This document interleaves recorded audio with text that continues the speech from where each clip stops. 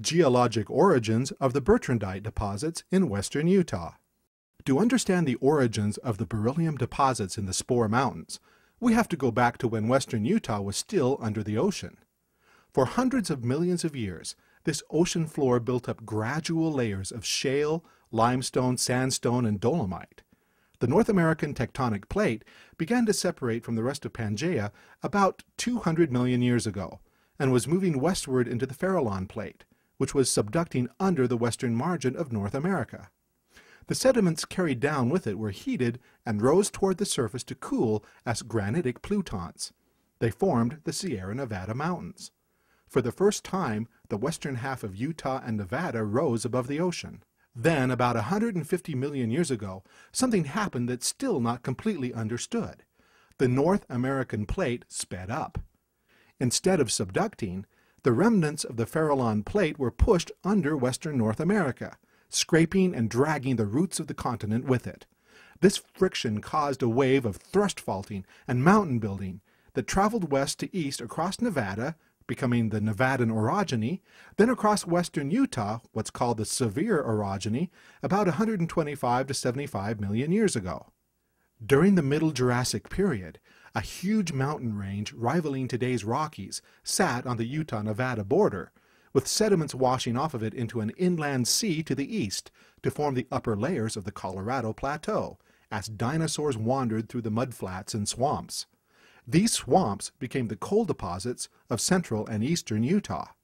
As the thrust faulting continued east, it encountered the thick Colorado Plateau and bent it into a huge anticline called the San Rafael Swell. When it reached Colorado and Wyoming, about 60 to 55 million years ago, the thrust faulting created the Laramide orogeny that resulted in the Rocky Mountains. About 50 million years ago, the North American plate slowed down again and the remnants of the Farallon plate collapsed from underneath, peeling away in a wave that now traveled from east to west. A wave of volcanism traveled with it, moving back across Colorado, then Utah, then Nevada. Much of the mineralization found in these states occurred at this time, including the silver, copper, zinc, lead, manganese, and beryllium deposits of Utah. In western Utah, the volcanism produced several zones of andesitic volcanoes with calderas and ash flows. These included the Thomas Spor Mountain caldera, along with calderas at Keg Mountain and Desert Mountain. All of this happened about 45 to 39 million years ago and continued for at least 30 million years through several phases. In the first phase, quartz-rich magmas formed the calderas and ash flows that covered much of the area and produced the gold, copper, and manganese deposits of the Detroit district in the Drum Mountains.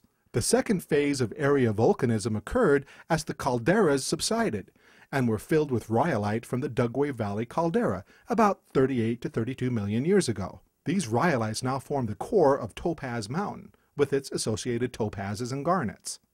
The ancient thrust faults and collapsed calderas created fractures, which served as avenues to intrude veins of mineral-bearing magmas.